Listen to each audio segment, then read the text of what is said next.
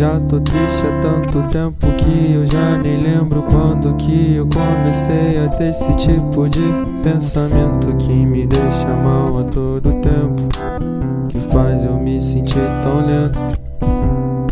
Eu já me acostumei com a solidão de viver pedindo teu perdão e tô dizendo não.